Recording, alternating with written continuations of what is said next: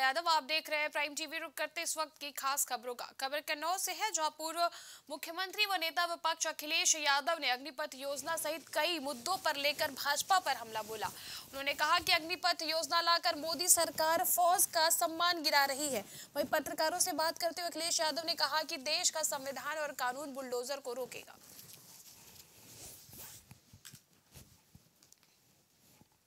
ये सरकार तो दली देख कर के काम कर रही है, जात देख के काम कर रही है, धर्म देख के काम कर रही है। ये सरकार तो नफरत फैलाने वाली है। और जो अग्निवीर, अग्निपथ ऐसी योजना ला सकते हैं, फौज को आउटसोर्स कर दें। फौज में टेम्परेरी नौकरी।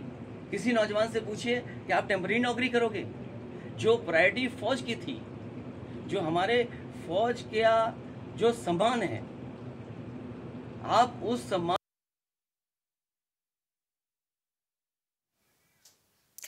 कानपुर से है जहाँ सामाजिक न्याय और अधिकारिकता मंत्री भारत सरकार रामदास अठावले के जनपद भ्रमण के दौरान सर्किट हाउस के सभागार में प्रेस वार्ता का आयोजन किया गया। इस दौरान उन्होंने कहा कि कुशीनगर के आठवें अंतर्राष्ट्रीय योग दिवस के अवसर पर मैंने मुख्य अतिथि के रूप में भाग लिया और वहाँ उपस्थित लोगों से मैंने आह्वान किया कि अगर रोग भगाना है तो योग करना है। करो योग, रहो निरोग। योग करने से शरीर मज़बूत होता है और हम मज़बूत होंगे तो देश मज़बूत होगा। तो हम लाने की कोई आवश्यकता नहीं सभी जो आई गए है अगर कोई कम ज़्यादा होते हैं तो जो हमारी पहचान है उसके लिए हम भी कोशिश करेंगे। लाएँगे। तो कुछ संपर्क में है आपके विधायक जो बीजेपी की सरकार बनाए में सहयोग हाँ तो संपर्क में तो हमारे है सभी एमएलए मेरे पहचान गए मेरे मित्र है और नई सरकार बनने जा रही है एक बहुत अयोध्या से है, जहाँ राम मंदिर निर्माण समिति की दो दिवसीय बैठक सर्किट हाउस में संपन्न हो गई और बैठक के बाद श्री राम जन्मभूमि तीर्थ क्षेत्र ट्रस्ट के कोषाध्यक्ष ने रामलला को मिले दान में चेक बाउंस होने पर सफ़ाई दी और कहा कि दान देने वालों की भावना गलत नहीं है, कहीं ना कहीं चेक देने में कोई चूक हुई है।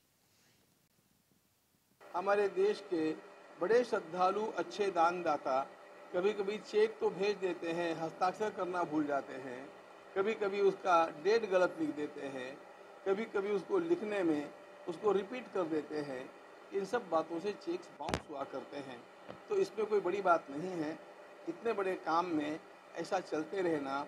अच्छा चेक बाउंस होने के पीछे हम उन लोगों की दुर्भावना भी नहीं मानते हैं, क्योंकि कोई राम मंदिर के ट्रस्ट ने उनको ज़बरदस्ती तो की नहीं थी कि हमें पैसा वसूलना है, ऐसा नहीं है।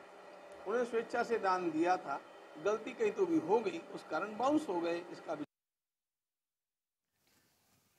रायबरेली में गौवंश तस्कर का बड़ा मामला अ, का खुलासा हुआ है। क्षेत्रीय विधायक अशोक कोरी और भाजपा वरिष्ठ किसान नेता रमेश सिंह ने तस्करी का आरोप सलोन पशु चिकित्सा अधिकारी समदर्शी सरोज पर लगाया है। बता दें कि गौवंशों को ले जाने के लिए जौनपुर से ट्रक मंगवाई गई थी। वहीं मौके से पकड़े गए पशु चिकित्सक के एक ड्राइवर को डॉक्टर के काले कारनामे प्रशासनिक अधिकारियों के सामने उजागर किया। भाजपा किसान नेता रमेश सिंह ने पुलिस अधीक्षक को लिखित शिकायत पत्र भी दिया। मामले की जानकारी डीएम को भी दी गई। एसडीएम ने कहा कि ज्वाइंट कमेटी की रिपोर्ट डीएम को भेजी जाएगी।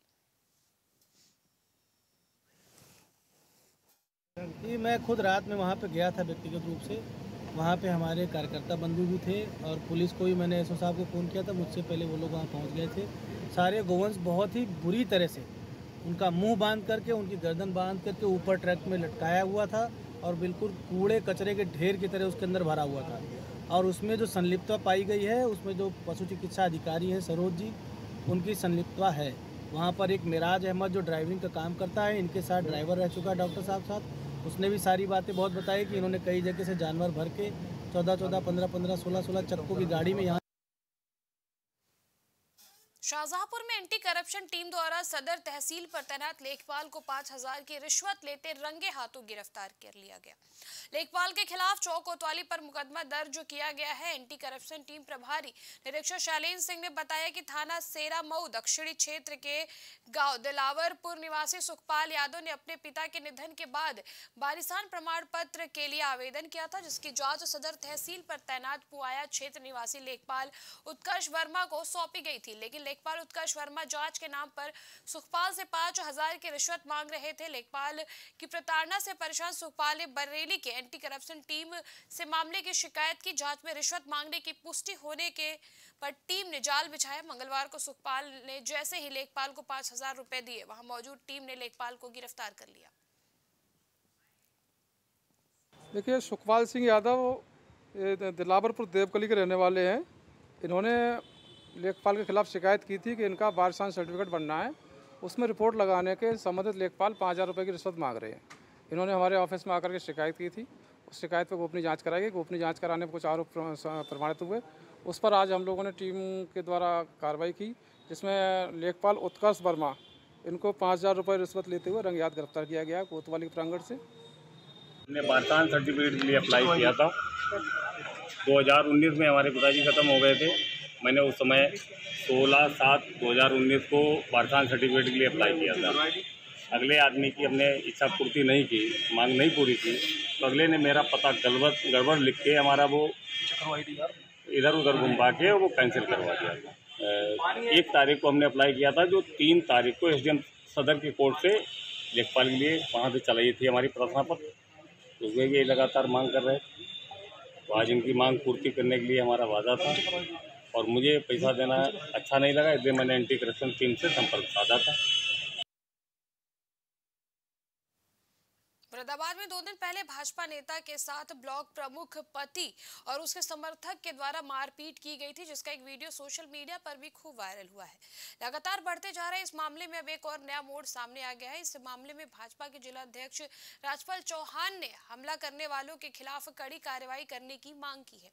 साथ ही कुंदरकी ब्लॉक प्रमुख और उनके ब्लॉक प्रमुख पति का भाजपा से कोई लेना देना नहीं है तो वही पीड़ित बंटी ठाकुर का कहना है कि पुलिस की ओर से आरोपियों पर कोई कार्रवाई नहीं की जा रही है, बल्कि उल्टा मेरे खिलाफ कार्रवाई कर मुझे फंसाया जा रहा है।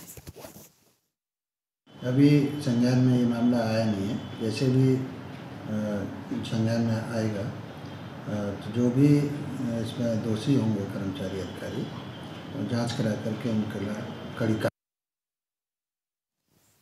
खबर मैनपुरी से है। जिला अस्पताल में परिजन बीमार बच्ची को लेकर पाँच घंटे तक जिला अस्पताल में इमरजेंसी और बाल रोग विशेषज्ञ कक्ष में चक्कर काटते रहे, जिसके बाद भी बच्ची का इलाज नहीं हो पाया और बच्ची की हालत बिगड़ती गई, जिसके चलते बच्ची की मौत हो गई।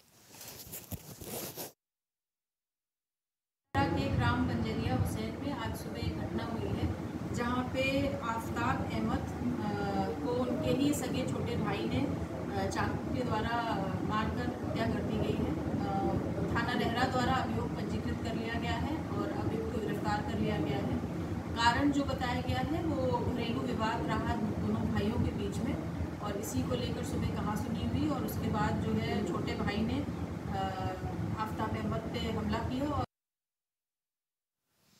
बलरामपुर जनपद में रिश्ते को कलंकित करने वाला एक ताज़ा मामला सामने आया है जहाँ छोटा भाई ही बड़े भाई का दुश्मन बन गया और चाकू से ताबड़तोड़ वार करके अपने बड़े भाई की हत्या कर दी जिसके बाद मौके पर पहुँची पुलिस ने 24 घंटे के अंदर अभियुक्त को गिरफ़्तार किया और आगे की कार्रवाई में जुट गई।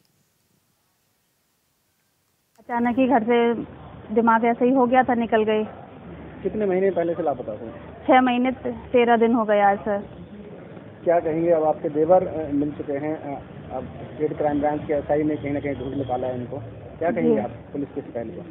मैं तो इनका धन्यवाद करती हूँ तहे दिल से कि ये जो भी हुआ है सर की मेहनत का नतीजा है और साथ में उनका धन्यवाद करती हूँ बहुत बहुत हाँ हमारे पास करीब ये छः महीने पहले आए थे। दिसंबर ठंड का महीना था लेकिन शरीर पे उतने कपड़े नहीं थे जब ये आया था। और ऐसा लग रहा था जैसे काफ़ी दिनों से खाना नहीं मिला है कपड़े नहीं हैं। कहीं भटक गया है तो मेरे हिसाब से ये 16 17 18 के बीच में दिसंबर में आए थे हमारे पास। तब से हमारे आश्रम में ये रह रहे हैं ये। पूरे दिल्ली एनसीआर के। एक एक आश्रम छान मारा, एक एक आश्रम छान मारा। तो हम लगे हुए थे लगातार एक डेढ़ महीने से। पूरा परिवार का भी पूरा सहयोग मिल रहा था। परिवार के हर एक आदमी का। मेरे साथ जाया करते, मैं भी रोज इसको ढूँढने के लिए जाया करता। तो हमें इस, इसी अभियान में एक दिन सूचना मिलती है कि जो बच्चा है सचिन है अनादि आसन पाली गाँव में रह रहा है। उसी बिहार पे आज परिवार को सूचना दे के जो कुछ परिवार का आश्रम यूपी का रहने वाला है, वहाँ रह रहा है और उसके भैया भाभी फरीदाबाद में रहते हैं। सभी को बुलाकर अनादि आश्रम में आज बच्चे को सारी कानून कार्रवाई पूरी करके बच्चे को परिवार खबर फरीदाबाद से, जहाँ छह महीने से लापता मंदबुद्धि बच्चे को स्टेट क्राइम की टीम ने खोजकर उसके परिजनों के हवाले करने में कामयाबी हासिल की। गौरतलब है कि बच्चा मंदबुद्धि है, जो बोलने और सुनने में असमर्थ था। इसी के चलते बच्चा घर से भटक गया था। फ़िलहाल बच्चे के मिलने के बाद अब परिजनों के चेहरे पर खुशी लौट आई है और वो स्टेट क्राइम की टीम का तहे दिल से धन्यवाद कर रहे हैं। कल आए थे, रात को दस बजे उधार लेने तो उनके पास पहले उधार पैसे थे तो पापा ने मना कर दी। तो वो झगड़ा झगड़ा वगड़ा करने लग गए उन्होंने कह दिया हम कल देखेंगे तेरे को बस। कौन लोग थे ये कहाँ के रहने वाले? आज़ाद नगर। आज़ाद नगर के रहने वाले थे। तो उसके बाद आज क्या हुआ फिर? तो आज उन्होंने दस बजे करीब दस बजे सुबह बुलाया उन्होंने। फिर पैसे देने के बहाने फिर उन्होंने फिर उसके बाद नहीं पता। वहीं से सूचना मिली कि तुम्हारे पापा के मतलब लग गई है चोट।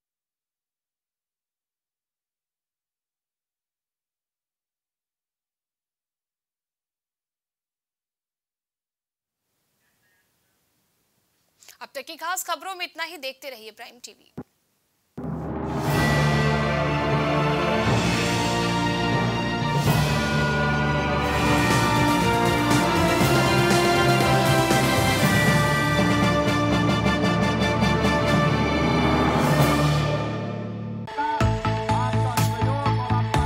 कुछ भाव पुष्प।